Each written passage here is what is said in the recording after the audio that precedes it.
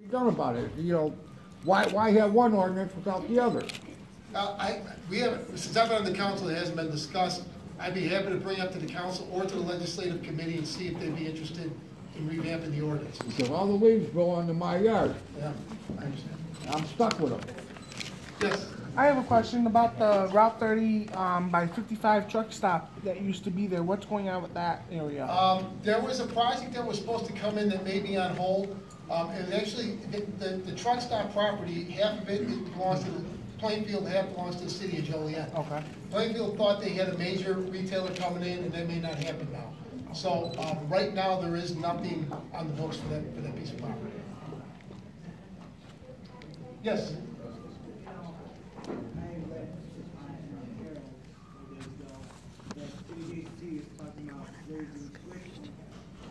Now, I think, in my view, JJC, other community colleges are, uh, investments of the future to help out people who have, uh, factory jobs that are going away more and more each year.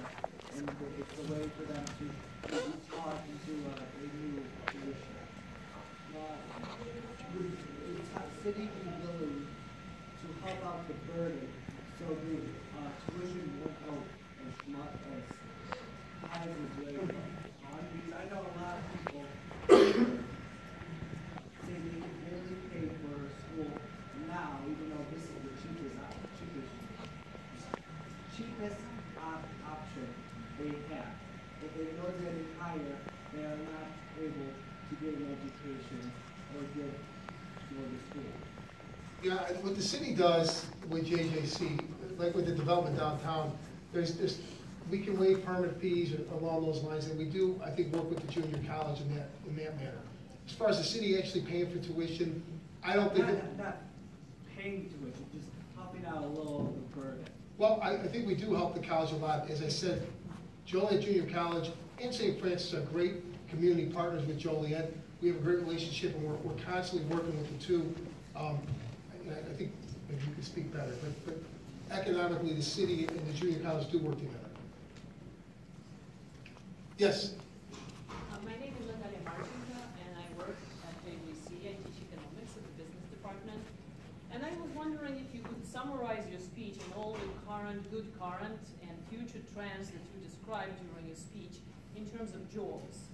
What kind of jobs our students should expect to be available in Joliet this year, next year, in three years?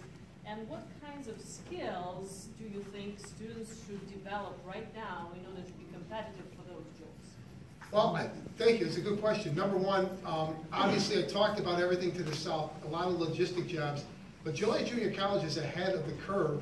They've, they've established a, a program for careers in logistics, not careers in factory work or warehouse work, but in logistics. That's a new market that is, is, exists in Joliet, and it's gonna continue to come because of what, what the city, where the city lies. We have two rail spurs in Joliet, we have a river, and we have two major highways that run through the city.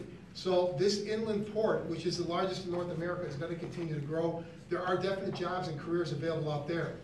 Furthermore, I know um, the Chamber of Commerce is constantly doing job exposition, job fairs. I know Harrah's Casino did a job fair several months ago. They can't fill the jobs at Harrah's Casino. So where I see the city growing, it continues to grow in the south. We talked about the Cullinan project, but I, I think there are careers available outside of, of the logistic jobs that are coming in. And I think any, um, I think service-oriented jobs are probably always gonna exist in one way or another. Again, I talked about police and fire, but I think any service-oriented job, I know you have a great nursing program here. Um, you know, personally, I think those jobs are always gonna be in demand, would be a great way for young people looking to go. Yes, So building up on your question, a lot of us are here because it's cheaper to go to JJC and then transfer out. What do you think JJ, or Joliet's ability to retain, um, students that graduate, get their associates, or to bring back students that just got their bachelor's or master's at a different college? well, I think that's crucial. When I talked about, um, corporate headquarters coming in like Cadence, I, that's exactly what we're talking about. Um, we want those level jobs coming into Joliet. Joliet's, been a blue collar community, it still is a blue collar community. What's happening to the south are a lot of blue collar jobs. we're looking for more than that. We want to diversify what's coming in. I, I to Cadence as one success story, but we're cognizant at City Hall that there need to be more. Yes? Hi, Mr. Mayor. Eric Doris, uh, resident of the East Side. Uh, my family's been here for three generations. Um, I am wondering about, is there any movement to make a cultural plan for the city of Joliet? I know that there's been a lot of development downtown with the Rialto and the colleges moving in, Yes. but do we have a major um, idea or some kind of brainstorming group that is thinking about arts and culture in Joliet? Um, not directly related with the city, I know there's a number of groups. For example, we, um, with, with the, with the streetscape for Chicago Street, they're putting together a committee for people to help with the redesign of Chicago Street. Um, there's, there's state, there's a public arts, um, uh, foundation that's located downtown that receives grant money from the state for a lot of the public art you see throughout Joliet. No, there is not a branch within City Hall for cultural purposes, but again, I know, I think the junior college, junior college may dip into that, and I, I I guess the culinary school, and I think, um, uh, St. Francis does also, but no, not within city government. May I follow up question? Sure. Um, do you think it would be a possibility, or would you consider creating a city-sponsored cultural plan like the one Chicago has? I think, Um, I think it's something the city would absolutely partner up with it. I don't know if that would ever be a branch of city government. But certainly, uh, like we work with other entities or with the city set of partnership, I know the city would work with that. Great, thank you. Yes. Okay, um, I'm Jerk Martinez. I'm from the co-editor of the Blazer newspaper. According to Electricity Local, the average electricity rate in Joliet is uh, 79.16% less than the national average rate, while the Illinois' average consumption of uh, electricity is ranked uh, third in the United States. Uh, do you see this trend continuing with uh, recent EPA rollbacks? I, you know, I don't know. I do know that we are converting a lot of our streetlights to LED lighting, which will absolutely reduce the cost, and, and it- it's, it's a green way to go. Less energy will be used. Um, the city doesn't own all the streetlights within the city. ComEd owns probably about seventy percent of them. The city owns thirty percent. We actually, just this week at, at the Public Service Committee, we're talking about doing an inventory to find out exactly who owns what lights, because we don't have that right now, and converting all that we can to LED lighting, which absolutely will reduce the energy being used in Joliet. Yes? Question, Mr. Mayor. Oh, I'm sorry. Um, I know you said you, you know, you're in the works of building a new train station. Will that come along, along with getting new, more pace buses in the community as well and surrounding communities? Yeah, it wa- I talked about a multimodal center that, that encompasses Amtrak, um, Metra, high-speed rail south, and the Pace bus service. It- was all being redone in the downtown area. And I know, um, Pace has expanded service going further south to get people out to the jobs that are out, the Amazon, the IKEA, the the warehouses. So, yeah, uh, Pace is a good partner with the city, and it has been, um, expanded, and I'm sure it will be in the future. Mr. Mayor, when are you gonna, uh, I'm a contractor here in Joliet. I, as a matter of fact, I'm on my third generation of inspectors in Joliet. When are we gonna start getting down on all these fly-by-night contractors that don't pay business license? There's a lot of garages that, in Joliet, that are doing auto mechanics that don't pay a business license. I mean, these are all home-owned businesses, and they're, they're, they're, they're, they're working right out of their garage in the neighborhood. Right, that's, it's an ongoing problem, and, and, I mean, it's something the city's constantly addressing, people that are trying to, to- to skirt the system. It's not, it's never gonna stop, but we do address it. You have a specific, you let me know, we'll get neighborhood services on it, and, and they'll, they'll deal with it appropriately. Yes? What's a five, to ten year future plan for the Rialto? Uh, That's a good question. Um, the thing, well, I, I think the new board that's been put in place is outstanding. They're all professionals.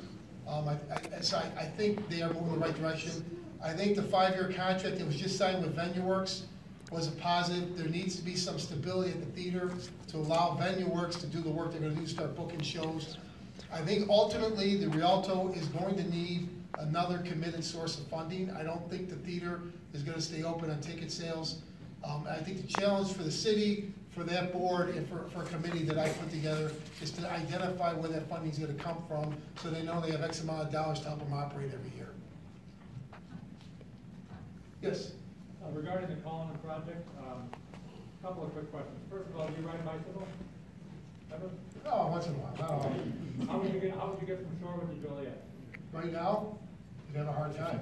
Right, exactly. You have to take Route fifty-two or Black Road or, um, State Farm Road to get from one side to the other, or to go south on River across I eighty Right. to get to the bike trails over here.